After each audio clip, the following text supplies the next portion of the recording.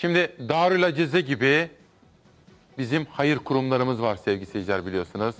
Son derece önemli. Darüşşafaka da onlardan biridir biliyorsunuz. Onları unutmayınız.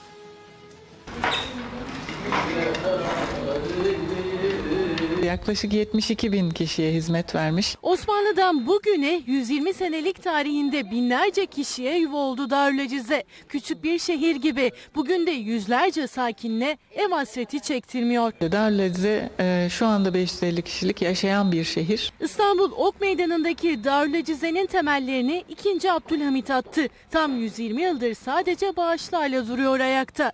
120 yıldır kimseye kapının önünde bırakmamanın gururunu yaşıyor.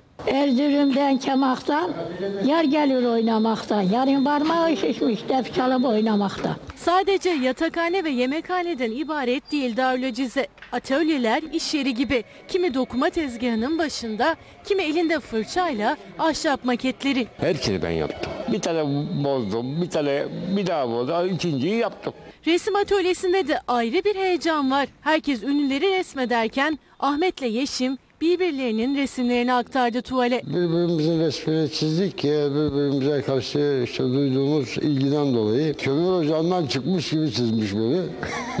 550 kişilik deva ile şimdilerde Darülcize'nin 120. yıl heyecanını yaşıyor.